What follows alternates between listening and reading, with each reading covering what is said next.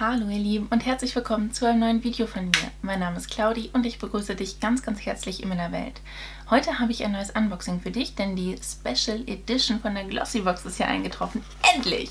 Und das ist jetzt die äh, Weihnachtskollektion, Winterkollektion, wie auch immer, dieses schöne Schätzchen. Und wenn du Bock drauf hast, mit mir zusammen zu erfahren, was sich hier drin verbirgt, dann hol dir was zu essen, hol dir was zu trinken, lehn dich zurück, genieß die Show und viel Spaß mit dem Video. Ja, diese Sonderedition konnte man, ich glaube, sogar diesen Montag kaufen. Heute haben wir den 5.12. Ähm, genau, und jetzt ist Samstag. Heute kam die Box bei mir an. Hier ist, äh, ja, für 35 Euro sind da ordentlich viele Produkte drin. Die Box ist auch super, super schwer. Wir hatten die ein oder andere Sneak Peek. Ich habe mir tatsächlich auch schon das ein oder andere Unboxing angeguckt. Und ähm, ich bin einfach gespannt, wie ich die Produkte so finden werde. Grob weiß ich schon, was drin ist. Wir haben hier Pflege und dekorative Kosmetik drin. Und ja, ich quatsch nicht weiter lange wir gucken uns das Ding jetzt mal richtig an. Ne? Wie gesagt, 35 Euro für Abonnenten von der Glossybox. Ich glaube, für Nicht-Abonnenten war die 10 Euro teurer oder 15 Euro. Das weiß ich ehrlich gesagt nicht. Ähm, ich packe euch mal hier meinen Gutscheincode rein, falls ihr Bock habt, die Glossybox zu abonnieren. Da könnt ihr dann nämlich auch von diesen ganzen Aktionen profitieren, dass ihr quasi die, die Boxen dann ja auch, also die Special-Boxen günstiger bekommt. Und ihr bekommt dann natürlich auch die Glossybox Beauty Box. Das ist immer mal wieder so ein kleines Streitthema. Ich habe da auch nicht immer Glück mit, um ehrlich zu sein. Also manchmal, gerade der Glossybox Adventskalender, den habe ich bis heute noch nicht abgedreht, der steht neben mir. Mhm, genau, da habe ich nicht immer Glück mit. Ne? Das dauert manchmal eine ganze Weile, bis die Sachen dann bei einem eintreffen. Genau, weil ich auch ganz normaler Abonnent bin und ich habe da keine Kooperation oder sowas mit. Das merkt man dann tatsächlich als normaler Abonnent manchmal etwas, leider. Ja, aber der Glossybox Kundenservice hat mich persönlich immer ähm, gut betreut, da bin ich auch ehrlich. Also ich hatte das ein oder andere kaputte oder fehlende Produkt auch mal mit in den Boxen und ähm, da habe ich tatsächlich schnell immer Ersatz bekommen. Bei der Benefit Box hatte ich, glaube ich, dass ich äh, die Mascara nicht mit drin hatte. Ne? Da war das Packaging einfach leer, was in der Box drin war. Wurde mir dann ruckzuck nachgesendet und ähm, ja, wir gucken jetzt aber mal in die aktuelle Box mit rein. Ne? Genau.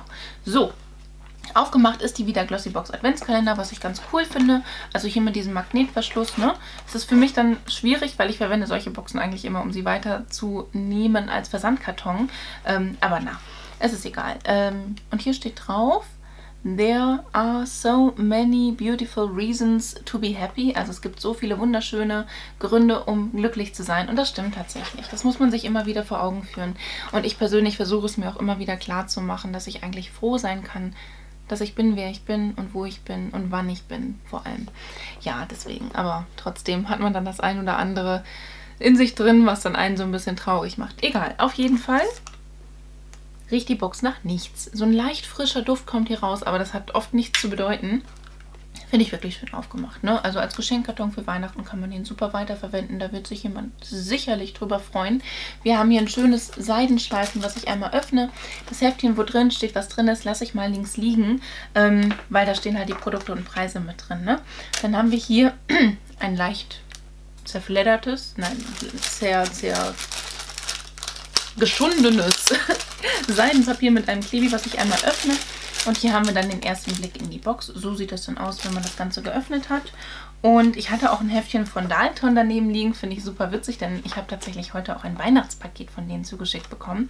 Das werde ich heute auch noch abdrehen, aber natürlich jetzt nicht heute, wenn ihr, also heute, heute, das Video online stellen. Ähm, ja, aber ich habe da, ich, ich, seid gespannt. Ich habe wirklich Weihnachtspost bekommen und das ist eine Dankeschön-Geschichte gewesen. Das finde ich einfach super herzlich. So, ähm, hier haben wir, äh, mich findest du in deiner Glossybox. Äh, ja, wir haben die Augencreme drin. Das ist hier natürlich angesneakt. Äh, mit dem Code Glossy20 Ausrufezeichen bekommst du äh, 20% Rabatt im Online-Shop bis zum 28.02.2021. Kann ich euch wirklich empfehlen. Ich verlinke euch hier oben mal mein Testvideo zu Dalton. Also das ist ja auch ein Kooperationspartner von mir, mit denen arbeite ich gerne zusammen. Die haben wirklich tolle Marine-Kosmetik, tolle Hautpflege, die auch für meine Haut gut sind. Also es war nichts dabei, was meine Haut gereizt hat oder wo ich Irritationen hatte oder sowas. Manche Sachen waren mir persönlich sogar fast schon zu sanft. Ne? Und ich habe sensible Haut und äh, deswegen bin ich sehr, sehr gefreut gespannt und erfreut über die Augencreme, weil die wird dann demnächst auch mal verwendet werden. Ähm, genau, die haben auch schöne Ampullen, die haben tolle Serien, die haben mega geile Masken, also der Wahnsinn in Tüten. Und äh, ja, hier ist dann einfach nochmal so ein bisschen was beschrieben, ein bisschen Werbung zu den Produkten. Es ist halt Marine-Kosmetik, ne? Also die haben halt das mit diesem Polymer... Ach Mensch, ich vergesse das immer wieder. Hm. ist es halt aus diesem mh, mm, Bereich der Meereskosmetik. Das heißt, die haben ähm, Produkte, die halt der Haut in ihren Molekülen an sich angepasst ist, weil es kommt ja das ganze Leben überhaupt aus dem Meer und dementsprechend macht es Sinn, dass man Meereskosmetik verwendet, weil die einfach der Haut molekülenmäßig Geschichten Gedönsen am ähnlichsten ist und deswegen am verträglichsten ist. Dazu ist es halt auch noch tierversuchsfrei. Es ist natürlich von den Inhaltsstoffen her und ähm, du hast halt wirklich die Möglichkeit, diese individuellen Pflegekonzepte damit zu machen. Das heißt, da gibt es auch so Hautberatungen, die man auf jeden Fall in Anspruch nehmen sollte. Da, da wird das Ganze auf einen selbst zugeschnitten und die helfen einem echt gut weiter. Also von daher von mir auf jeden Fall eine große Empfehlung. Und dann zeige ich euch direkt auch mal das Produkt, was hier mit drin ist. Und zwar ist es hier die Blue Essentials All Eyes on You Brightening Eye Cream mit 15 Millilitern und ähm, hier ist halt das Interessante dabei, für mich persönlich, dass ich das vorher noch nie gesehen habe und dass es eine Brightening-Geschichte sein soll. Das heißt, es soll deine untere Augenpartie aufhellen. Ich habe wirklich öfters mal so Augenringe, die decke ich gerne mit einem Concealer ab, wie heute auch. Aber ähm, wenn man sowas dann halt, wenn ich ungeschminkt natürlich schön aussehen kann, finde ich das klasse, wenn ich sowas halt einfach verwenden kann. Ne? Und hier hast du drin Meeresmineralien, Zwillingsrotalgen und Braunalgenextrakt und Oligoalginate und Meereswasser mit Bio, Biopterin. Biopterin? Keine Ahnung. Genau, finde ich cool. So nämlich.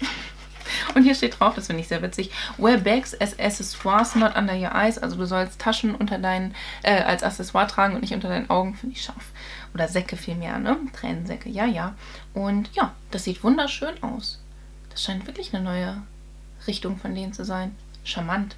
Wird wie gesagt ausgetestet und ich ach, mag das einfach. Und wie gesagt, den äh, Glossy 20 Ausrufezeichen nicht das Ausrufezeichen vergessen. Gutschein äh, haben die hier nochmal drauf gedruckt. Das finde ich auch ganz nett, ne? Dass man halt weiß, wenn man die aufgebraucht hat, hey, ich kann die mit 20% Rabatt immer nachkaufen. ist schon klug. Das, das, darf man nicht vergessen. So, ähm, das hier ist so ein, so ein Oschi-Produkt, was ich glaube, die meisten auch als erstes in die Kamera gehalten haben, weil das war wohl in der Sneak Peek. Hello Buddy ist ja so ein typisches Influencer-Produkt, ne? Ja, also ich habe noch nie von denen PR-Paket bekommen. Wahrscheinlich, weil ich auch einfach nicht der größte Kokos-Fan bin und die halt hauptsächlich auch so Kokosdüfte bei sich mit drin haben. Bin ich bislang halt noch nicht so ultra angefixt worden. 300 Milliliter ist natürlich eine Ansage. Daily Body Lotion. Ich kann mir vorstellen, dass ich die schon testen werde. Ne? Love Your Body. Ähm, ohne Tierversuche. Safe and Natural Ingredients, also sichere und natürliche Inhaltsstoffe. Derm dermatologisch äh, getestet und sechs Monate haltbar. Das heißt, ja, jetzt wahrscheinlich nicht direkt aufmachen. Ähm, versüße deinen Tag mit dieser sofort einziehenden Bodylotion. Unsere verführerische Mischung aus Kokosöl, Mango und Kakaobutter verwöhnt deine Haut mit langanhaltender Feuchtigkeit und Geschmeidigkeit. Ja gut, das hört sich eigentlich schon nach was Gutem an, ne? Also ich mag Kokosduft nur dann nicht, wenn er zu künstlich ist. Wenn es halt so ein subtiler und schöner Kokosduft ist, der dann vielleicht noch kombiniert ist eben hier mit, mit Kakaogeschichten und ähm, so, ist das schon eine gute Nummer. Ne? Also das äh, streite ich ja auch nicht ab. Ich rieche trotzdem mal dran, auch wenn es dann nur sechs Monate haltbar ist. Es riecht angenehm. Ja, es riecht tatsächlich angenehm. Also da beschwere ich mich jetzt wirklich nicht. Gut, ja, ich mag voll gerne, dass es einen Pumpspender mit dabei hat. Das finde ich immer sehr praktisch. Den Rest vom Schützenfest muss man dann meistens rausholen, indem man das über Kopf stellt, weil der Pumpspender kriegt meistens das unten nicht komplett raus. Aber ja, komm, ne, finde ich ganz nett und finde ich vor allem schön und ich glaube, das kann man einfach mal ganz gut austesten. Und dafür sind solche Special-Boxen auch ganz gut, dass du da einfach mal speziellere Produkte drin hast oder halt so Hype-Produkte, dass man die mit austesten kann. Genauso wie hier von Fenty Beauty. Mm, Match Sticks Shimmer Skin Stick. Das finde ich auch ganz nett. Ne? Das ist so ein Blush-Stick. Ich bin ja eigentlich kein Fan von flüssigen oder Creme-Blushes. Yacht Lifey oder Yacht Life ist hier die Farbbezeichnung. Ähm, aber für so subtilen Blush ist es, glaube ich, eine ganz gute Nummer. Ah ja, Fenty Beauty hat ein schönes Design, ne? Dieses Hexagon mag ich unheimlich gerne. Das haben die schön gemacht. Ich habe im Black Friday Sale auch mir das ein oder andere von Fenty geholt und ähm, bin da sehr froh drüber. Genau. Riecht nach nichts irgendwie? Nö. Nö. Und da haben auch viele schon gesagt, dass sie das an den NARS Orgasm erinnert und das kann ich nur unterschreiben. Das sieht wirklich genauso aus. Du hast halt diesen Rosé-Ton und dann diesen Goldschimmer mit drin. Ich mache das einmal, dass ich auf der einen Seite das unverblendet lasse und auf der anderen Seite verblende ich das mal, dass ihr das dann direkt so sehen könnt, ne? Genau. Also so ist es dann quasi auf der Seite verblendet und auf der Seite einfach nur aufgetragen. Ähm, man sieht schon so einen schönen Schimmer und da kann ich mir auch wirklich vorstellen, das dann aufzutragen auf meine Wangen, also hier so auf, wo ich Highlighter und Blush auftragen würde, ähm, wenn ich das einfach ganz normal im Alltag trage. Ich glaube, das könnte wirklich eine gute Nummer mit uns beiden werden, ähm, weil ich sonst bei normalem Blush immer das Problem habe, dass es dann ja pudrig aussieht ne? und ähm, ich dann halt, ich möchte halt im Alltag nicht wirklich geschminkt aussehen. Ne, wenn ich so zur Arbeit gehe, dann mache ich mir halt meine Mascara drauf und das war's und da habe ich meine Freude dran. Und wenn ich nach Hause komme, dann schminke ich mich halt so.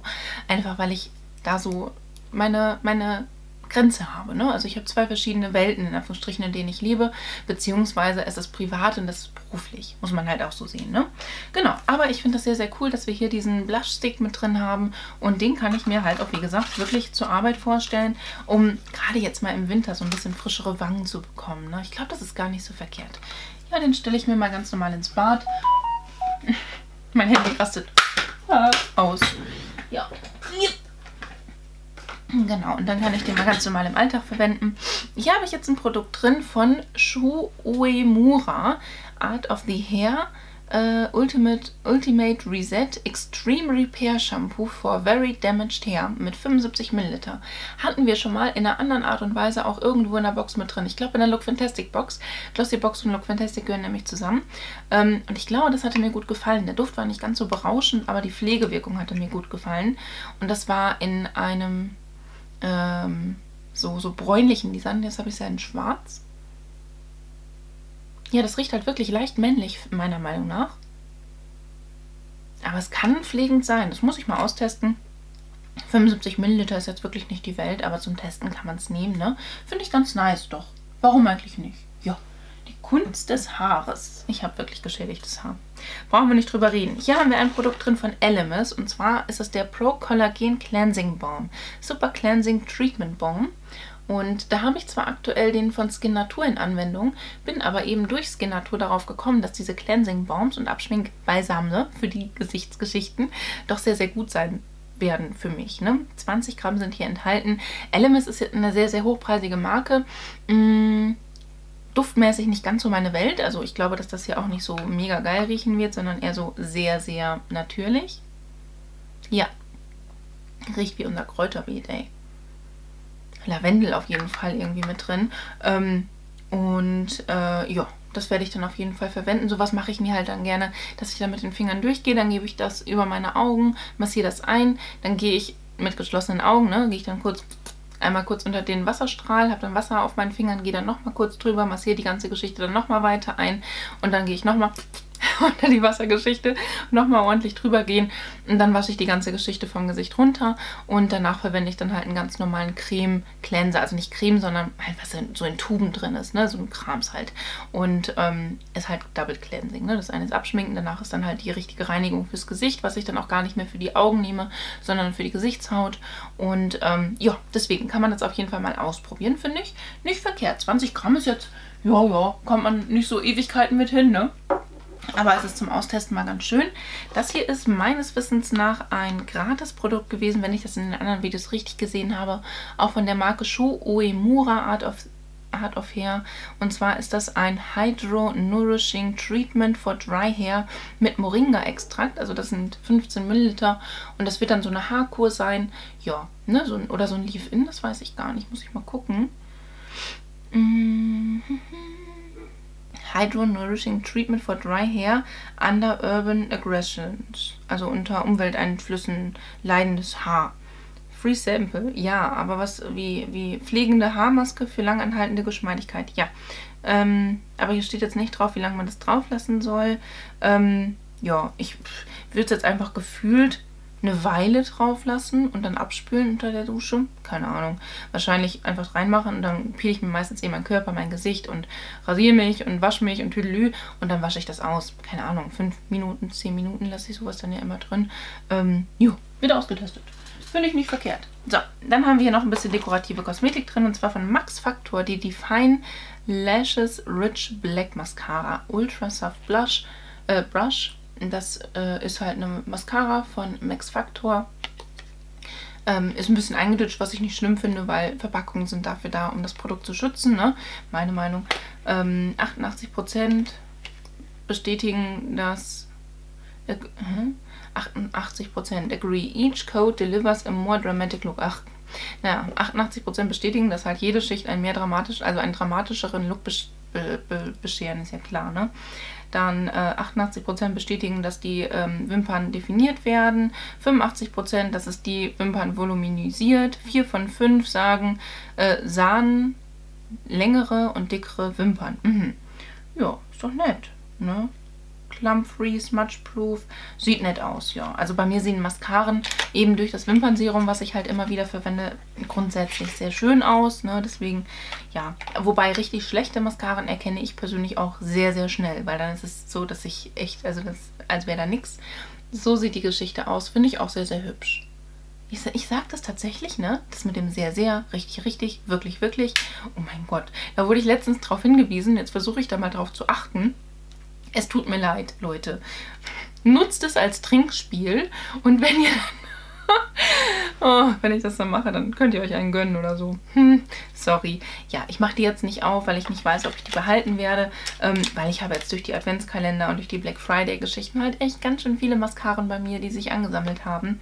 Muss ich mal schauen. Aber eigentlich interessiert mich Max Factor sehr. Tatsächlich. Weil ich damals als junges Mädchen auch eigentlich so, als junges Mädchen vor allem, ne? Aber als ich mich so mit, mit Make-up so angefreundet habe, da gab es bei uns im Irrplatz tatsächlich so eine Theke von Max Factor. Und da hatten die eine Foundation, die war so zweigeteilt.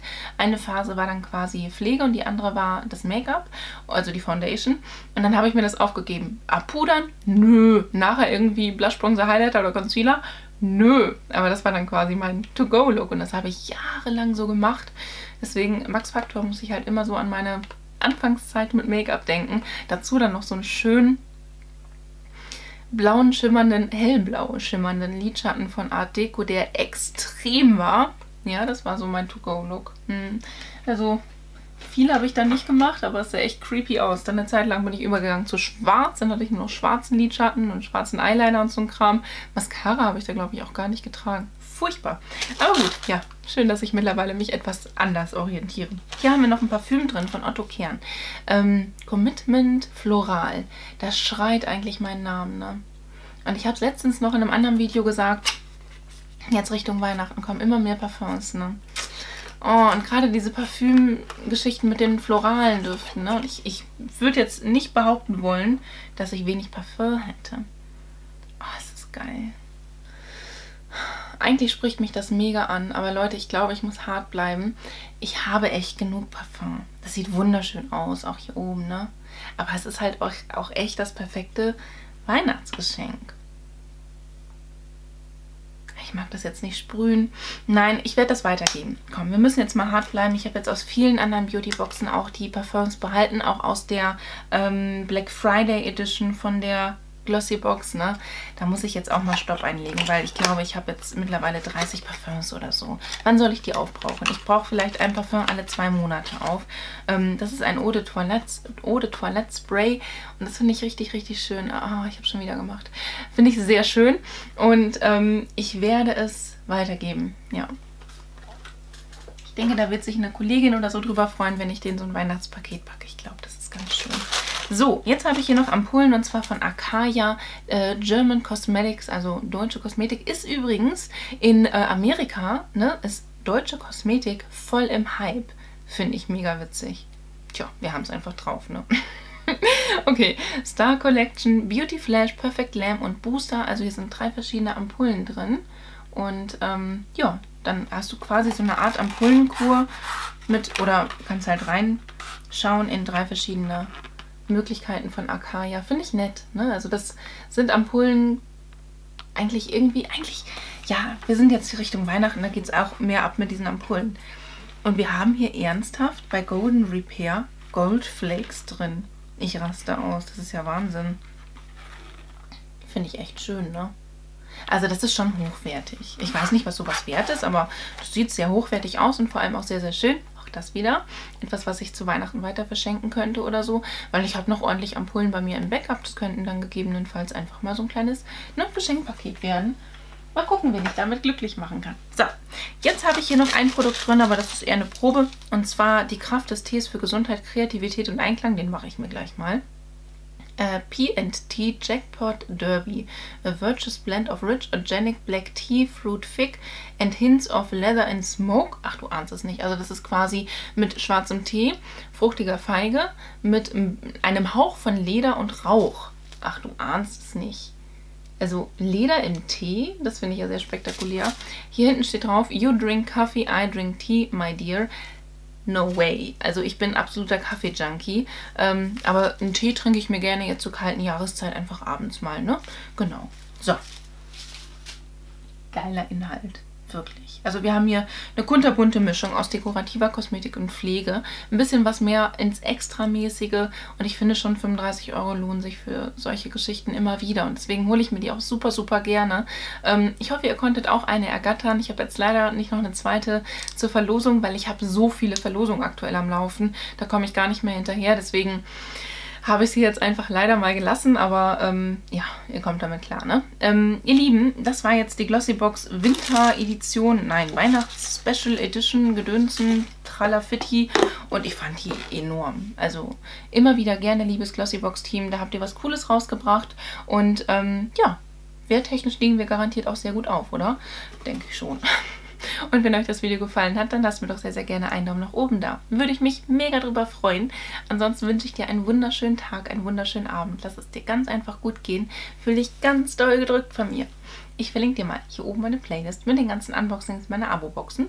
Hier unten meinen neuesten Upload. Auf dieser Seite noch ein Video von mir. Und hier oben kannst du, wenn du möchtest und es vielleicht noch nicht getan hast, mich sehr, sehr gerne einmal kostenlos abonnieren. Ich würde mich echt von Herzen drüber freuen. Lass es dir gut gehen und hoffentlich bis zum nächsten Mal. Ciao.